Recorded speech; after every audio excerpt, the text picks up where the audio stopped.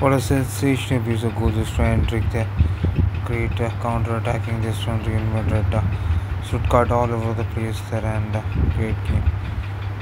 On the right uh, top uh, corner they just struck it and uh, what a sensational uh, So that's it, staging for the series update from uh, and uh, there's a wonderful, wonderful piece of from the 16 year old. Uh, what a performance is from there.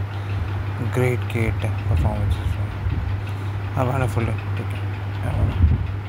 Yes, so I'll be giving lots of updates as uh, Champions League are gamed today. So lots of games are coming up, and uh, yes, that's it. Stay tuned for the latest updates from my and all the latest stats.